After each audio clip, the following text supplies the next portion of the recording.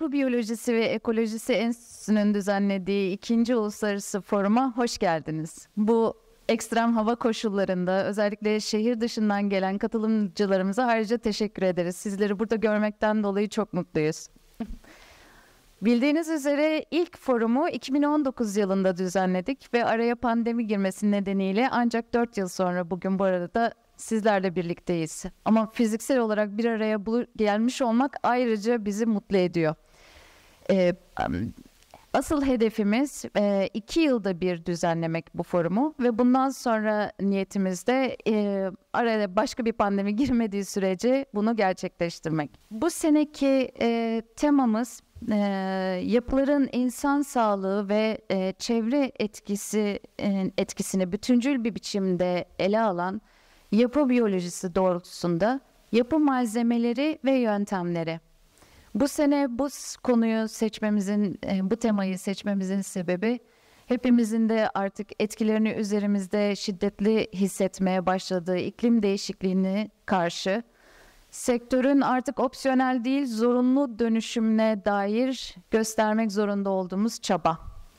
Bugün burada hepimiz sektörün e, son 100 yıl içerisinde sanayi devriminden sonra iklim değişikliğine e, yönelik yaptığı sert müdahalenin sonuçlarını yaşıyoruz ve bunun geriye dönüşü mümkün olmasa dahi etkilerini hafifletmek üzere sektörün dönüşümünün zorunlu olduğunu biliyoruz. Ve bu konuyla ilgili kendi meslek hayatımızda neler yapabileceğimizi, neleri değiştirebileceğimizi, etkimizin gücünü nasıl arttırabileceğimizi bulabilmek, birbirimizden e, yararlanabilmek, birlikte olabilmek ve güçlenmek adına buradayız. Ve iki gün boyunca bu sektörel dönüşümde önemli bir e, alan işgal eden yapı malzemeleri ve bunun inşaat yöntemleri, yapım yöntemleriyle ilgili dünyadaki son gelişmelerin neler olduğu, neler yapabileceğimizle ilgili, ilgili kendimizi geliştirmek adına bir arada bulunacağız. Bunun için tekrar sizlere teşekkür ederiz. Bu seneki temanın içeriğini oluşturmak konusunda bize yardımcı olan danışma kurulu üyelerimize ve bu organizasyonun fiziksel olarak gerçekleşmesini sağlayan yürütme kurulu arkadaşlarımıza çok çok teşekkürler. Ana partnerlerimizden Alman Yapı Biyolojisi ve Sürdürülebilirlik Enstitüsü, Alman Kerpiç Birliği, e, Doğal Yapı Malzemeleri ve Yöntemleri Derneği ve Nature Plus Derneği olmasaydı bugün burada olamazdık. Ayrıca destekçilerimiz olan Betek, Şahtaş, Baumit, Hiskamış ve Okile çok çok teşekkür ederiz. Şahtaş'a özellikle sergimizin gerçekleşmesi için e, yaptığı ekstra destekten ötürü ayrıca teşekkür ederiz. Değer ortaklarımızdan Binat İletişim, Park Labs, İmsat ve Marmara Belediyeler Birliği ile çok daha güçlüyüz. Artık daha fazla uzatmadan başlayalım, başlayalım diyorum. Ee, bunun için de sürdürülebilir dönüşüm için doğal yapı malzemelerinin önemini bizlere aktarması için yapı biyoloğu Ant Akman'ı sahneye davet ediyorum. Çok teşekkürler sevgili Nesli. Ee, ben de katıldığınız için, geldiğiniz için çok çok teşekkür ediyorum. Dört yıl aradan sonra bir araya gelebildik. Bu dört yıl içerisinde önemli gelişmeler oldu. Ee, enstitümüzde e, ilerlemeler kaydettik.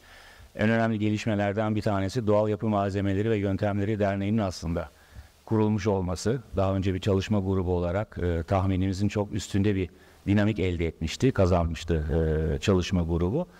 E, sonra baktık kabına sığmıyor, bunun bir derdikleşmesi lazım diye düşünceler gelişti ve e, aramızda şu anda Türkiye'deki Doğal Yapı Malzemeleri ve Yöntemleri Derneği var ki e, forumumuzun ana teması da doğal yapı malzemeleri olacak. Ben şimdi e, kısaca bir sizlerle paylaşmak istediklerimi aktarmaya çalışayım.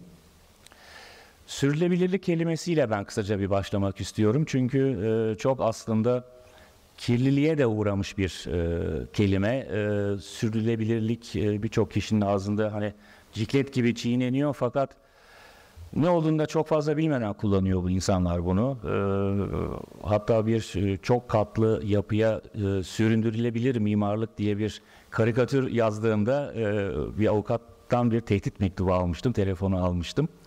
E, bu kadar aslında e, konunun ne olduğu dan biraz uzağız. E, benim çok hoşuma giden bir tarif var. Yukarıda e, okuyabiliyorsunuz. Sürülebilir tasarım nedir diye. Aslında zarar vermeden yani canlıların bugüne kadar türlerinin devamlılığını sağlayacak ortama zarar vermeden var olmayı nasıl sürdürebilmeleridir. E, bu benim çok böyle bütüncül ve her şeyi e, bir e, kısa cümlede toparlayan bir e, ifade olarak e, dikkatimi çekiyor. E, sürülebilirlik tabii parçalara ayrılan bir şey. E, burada sosyal sürülebilirlik, gezegenimizin sürülebilirliği, e, sağlıksal sürülebilirlik yani insan denen canlı türünün işte neslin devamına yönelik ya da diğer canlıların kendimizi burada bir üst canlı gibi görme e, hakkımız da yok aslında. E, son olarak da aslında bu sürdürülebilir dönüşüm için e, neler yapmalıyız? İşte alan etkisi, ekosistemler, neler yaptık, neler yapmalıyız? Bunlara kısaca bir değinmek istiyorum. Şimdi sosyal sürdürülebilirlikle e, başlayacak olursak aslında bu Türkiye'mizde ne yazık ki bizim en zayıf noktamız. E, bir kere bunun altını çok e, sert bir şekilde çizmek lazım. Çünkü e, bulunduğumuz yerle kurduğumuz ilişki kalıcı değil. Yerine aitlik duygumuz e, ne yazık ki çok zayıf Anadolu'da. E, çevre bilincimiz e, bir yerlerde bir şeyler yapmaya çalışıyor fakat o da olmuyor. Ee, bir köyde yaşıyoruz ve e, aslında şunu ben e, şu, şu geliyor aklıma e, bir yerdeki bir köylü e, traktörüyle tarlasına giderken sigarasını yere atıyorsa o hala oranın yerlisi değildir. Hala orasıyla kalıcı bir ilişki kuramamış demektir. E, bu tür aslında şeylere dikkat etmemiz lazım. Burada tabii kültürel kalkınma çok önemli, e, önemli görevlerimizden bir tanesi. Ee, biraz bütüncül bir çerçevede şimdi ben konuyu özetlemeye çalışacağım. Daha sonraki konuşmacılarımız çünkü alt başlıklara çok güzel bir şekilde değinecekler. Ve e, bana göre de kültürel kalkınmanın önemi ve burada endüstriyel kalkınmanın ki doğal yapı malzemelerinin üretimi de bu endüstriyel kalkınmanın önemli bir parçasıdır. Fakat bir araçtır sadece. Yapmamız gereken aslında üzerine çalışmamız gereken üst ölçekte e, önemli başka şeyler de var. Sırf kendimizi doğal yapı malzemelerinin üretimine bir işte tüccar ya da bir üretici ya da bir pazarlamacı gözlüğüyle odaklarsak aslında e, işimizi yine e, doğru yapamamış olacağız ileride. Sürülebilir mimarlıkla ilgili işte bir hedeflerimiz var. E, bir yapı yapmaya çalışıyoruz. E, bunun için üç tane ayağa ihtiyacımız var. Tasarım bu ayaklardan bir tanesi. Yani tasarımla enerji etkinliğini bir nebze sağlayabiliriz. Ee, doğal yapı malzemelerini kullanarak e, bu etkiyi destekleyebilir ve arttırabiliriz. Ee, gene en zayıf noktalarımızdan bir tanesi Türkiye'de ne yazık ki işçilik kalitesi. O da eğitim sistemimizin aslında e, ara eleman e, ihtiyacına cevap vermeyen bir eğitim sistemi olması. Çok fazla mimara ihtiyacımız yok bu kadar çok. Fakat iyi sıva ustalarına ihtiyacımız var. İyi duvar ustalarına ihtiyacımız var camın kenarına silikon çeken iyi uzmanlara ihtiyacımız var. Bunlar aslında çok daha önemli. Fakat bütün bunların e, tamamlanması durumunda bir yapıyı gerçekleştirebiliriz. Yapıyı bu üç ana ayakla inşa etmek zor değil aslında. Sosyal sürdürülebilirlik olmadığı zaman yani bu yapı e, işte yaşamaya başladığında içindeki insanlarla birlikte bunu kullanacak olan insanların, yaşatacak olan insanların sosyal sürdürülebilirlik bilinci, çevre bilinci, yerine aitlik duygusu zayıfsa aslında bu yapıyı hani neredeyse boşuna yapmış bile olabiliriz. Ee, diğer iki e, ana başlıklarımız e, sağlıksal sürdürülebilirlik. Biz bunu işte yapı biyolojisi disiplininde ele alıyoruz ve gezegenimizin sürdürülebilirliği yapı ekolojisi disiplininde ele aldığımız. E, burada da aslında gene e, bu sürdürülebilirlik için Malzemeler önemli. Aşağıda gördüğünüz e, görseller arasında yaklaşık e, 10 bin 11 bin yıl var. Soldaki Çatalhöyük'ün bir e, illüstrasyonu zamanında böyleymiş diye. Sağdaki de e, bir e, İsviçre'de bir şeker fabrikasının şeker üreten bir fabrikanın üretimhanesi. E, baktığımız zaman bambaşka tasarımlar. E, sağdaki çağdaş, modern, günümüzün beğenilerini e, karşılayan bir e, görüntüde. Fakat ortak özellikleri bunların yapı malzemeleri arasında bir gram fark yok. İkisi de aynı. İkisi de toprak. Sıkıştırılmış toprak. Başka bir şey değil. Dolayısıyla e, 12 bin yılda bu kadar e, değişmeden bir malzemeyi ahşap da buna dahil, başka doğal yapı malzemeleri de buna dahil değişmeden kullanabiliyorsak bunu aslında başka araçlarla yapıyoruz. Yani gene teknolojiyi katarak üretim teknolojileriyle bu noktaya gelebiliyoruz. Fakat bu sağdaki noktaya sıçrayabilmek için yine bir kültürel belleğe ihtiyacımız var. İnsan sağlığıyla ilgili kısmına da kısaca değinecek olursak, e, yapı biyolojisinde e, ana konumuz olmasa da tek bir slaytta sizlere aktarmak istiyorum. E, çünkü iç iklim dendiği zaman bu sadece işte nem ve sıcaklık olarak bu iki e, başlığa indirgeniyor. Halbuki yapı biyolojisinde biz iç iklimi daha bütüncül bir e, sistemde, işte e, elektrobiyoloji bunun bir alt başlığı, e, mantar, bakteri, alerjenler bunun bir alt başlığı, iç iklim e, ısıtma teknolojileri bir alt başlığı ve toksik maddeler. Özellikle bu toksik maddelerde de gene doğal yapı malzemelerine ya da yapı malzemesi sektörüne e, bütün e, yük düşüyor. Çünkü yapı malzemelerinde kullanılan kimyasallardan kaynaklı e, işte formaldehit, lindan gibi olsun kanserojen gazlar, işte o VOC'ler e, bunlardan e, kaynaklı sinir sistemi üzerinden etkilendiğimiz durum oldukça kabarmış bir durumda. Çünkü artık ömrümüzün yüzde doksanını bu kapalı yapay mekanlar içerisinde geçiriyoruz. Bu bir PowerPoint'in azizliğine uğramış. Neyse. Şimdi e, mimar ya da biz tasarımcılar burada bu ekosistemi nasıl etkileriz? Yani malzemeyi e, doğru bir şekilde gördüğümüzde ne yapacağız? Şimdi aslında hepinizin bildiği bir döngü var.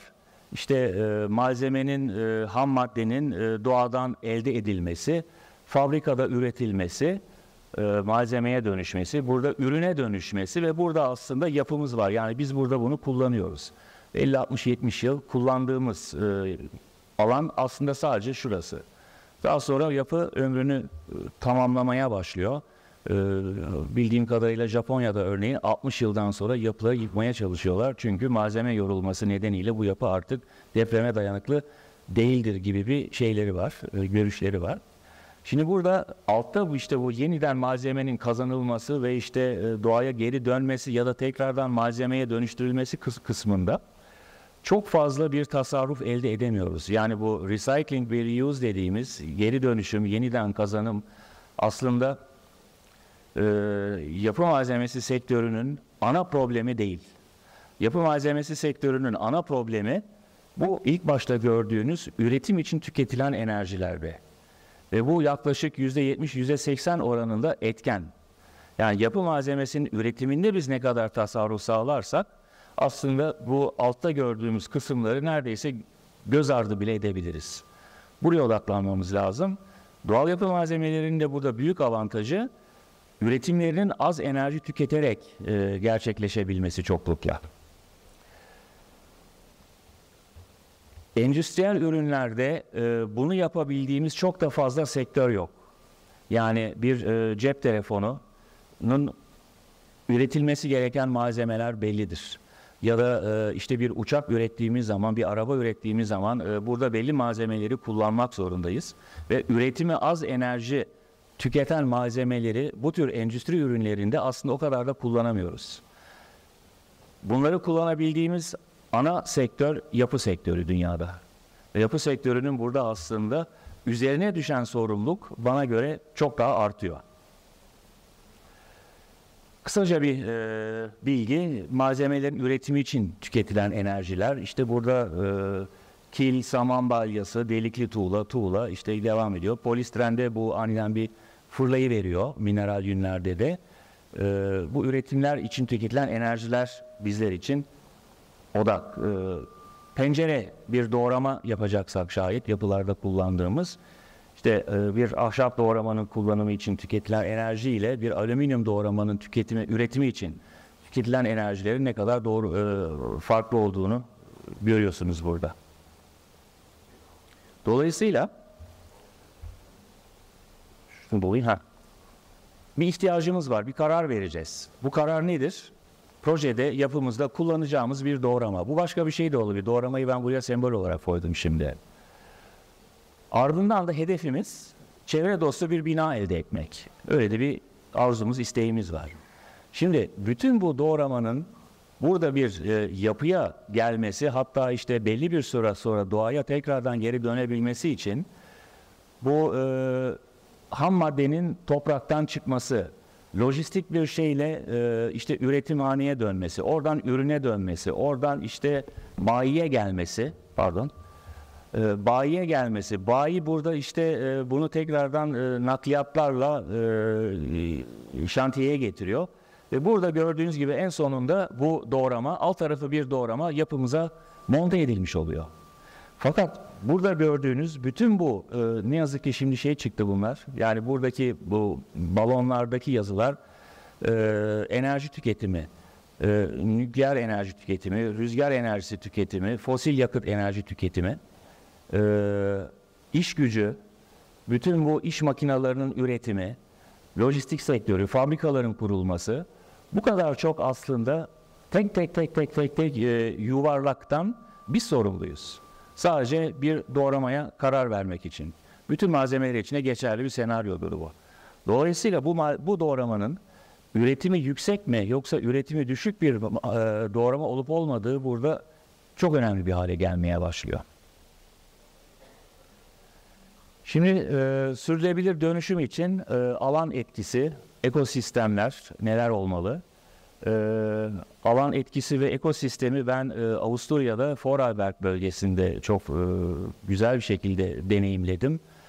E, çevre bilinci yüksek, e, tasarıma, inovasyona, işçilik kalitesine çok büyük değerler veriliyor ve kırsal bir bölge olmasına rağmen yani bizim Urla Karaburun Yarımadası gibi düşünebiliriz bunu. E, mimarlık tasarım üzerinden kendi yörelerini bir aslında e, geleceği gösteren açık hava müzesine dönüştürmüş durumdalar. Yani itfaiye binasını bile kerpiçten yapıyorlar. E, bu bağlamda e, inovasyon ARGE eğitim değil öğrenim.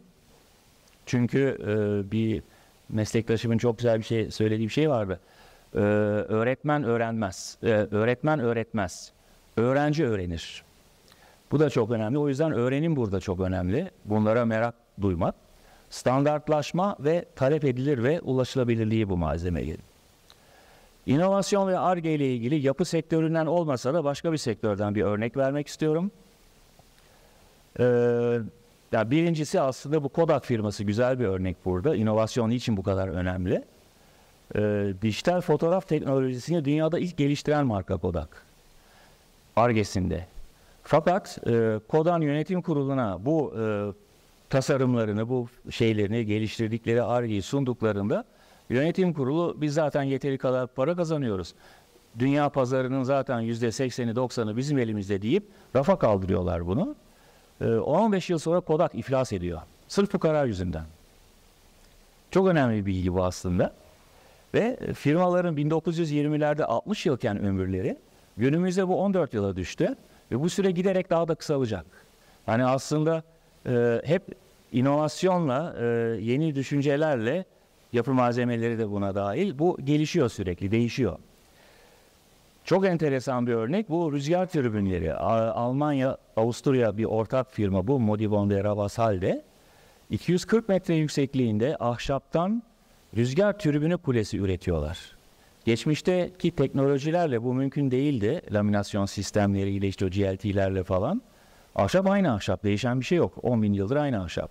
Fakat günümüzün teknolojiye, inovasyonla artık bu rüzgar türbünü kulelerini bile aslında biz 240 metre yüksekliğe kadar üretebiliyoruz. Bu da inovasyonla oluyor. Eğitim, öğrenim, standartlaşma. Ee, burada ne yazık ki e, Türkiye'ye özel bir durum değil bu. Ee, Avrupa'da da gördüğüm kadarıyla durum benzer. Ee, üniversiteler burada oldukça geriden geliyor. Ee, sorumluluğu üstlenen bu konuda bir ekosistem, bir alan açmaya çalışan bazı isimleri ben burada işte Alman Kerpiç Birliği şu anda aramızda. Alman Yapı Biyolojisi ve Sürdürülebilirlik Enstitüsü, Nature Plus, e, İtalyan e, Yapı Biyolojisi Birliği, Japon Yapı Biyolojisi Enstitüsü, işte Hollanda'dan e, Agrodom. E, bu aktörler günümüzde artık e, bu alan etkisini, bu ekosistemi yaratmak için çaba sarf edenler e, ve ben çok mutluyum ki e, bu e, önemli isimlerin önemli bir kısmı şu anda burada aramızda e, katıldılar bize. İnsan sağlığıyla ilgili de Yapı Biyolojisi Enstitüsü'nün işte 25 temel ilkesi var. Bunu şimdi hızlı geçeceğim çünkü e, internetten web sayfasından da Türkçesini, Almancasını, İngilizcesini detaylı bir şekilde okuyabilirsiniz. Bu 25 temel ilke 5 ana başlıkta toplanıyor ki bunun içinde insan sağlığıyla ilgili e, ilkeler var. E, ekosistem, gezegenimizin sağlığıyla ilgili ilkeler var ve sosyal sürdürülebilirlikle ilgili ilkeler var. Bu etrafta gördüğünüz ikonlar da e, dünyadaki bütün yapı biyolojisi enstitülerinin ortak kullandığı işte e, bir standarta getirdikleri alt başlık ikonları. Böyle. Tekrar bugün aramızda e, talep edilir ve ulaşılırlık ulaşılabilirlikle ilgili e, bir e, önemli bir gelişme bana göre e, Almanya'daki e, Ökoplus e, Birliği. Ökoplus'u şöyle düşünebilirsiniz. E, neydi? Trendyol. Ha. E, bugün Trendyol'dan alışveriş yapıyorsunuz. Bir online internet e, şey platformu Trendyol. Değil mi? Yani istediğiniz her şeyi oradan satın alabilirsiniz. E, Ökoplus ve işte başındaki e, Uli Steinmeier aramızda şu anda doğal yapı malzemesi üreten firmaları bir çatı altında bir online platformda topladı. Dolayısıyla bu aşağıda gördüğünüz doğal yapı malzemesi üreticilerinin şu anda ürünlerini ortak bir online platform üzerinden aslında satın almanız, ulaşmanız mümkün. Yani talep edilir ve ulaşılabilir olmak, ulaşılabilirliği bu şekilde sağlamak çok gerekli. Çünkü bizim de çok başımıza geliyor. İşte müşterimiz e, hani iyi de bunu nereden alacağız? E, tamam internete gir e, ya da işte e, falan firmaya telefon et. iki gün sonra Euro paletler üzerinde malzeme sana gelecek.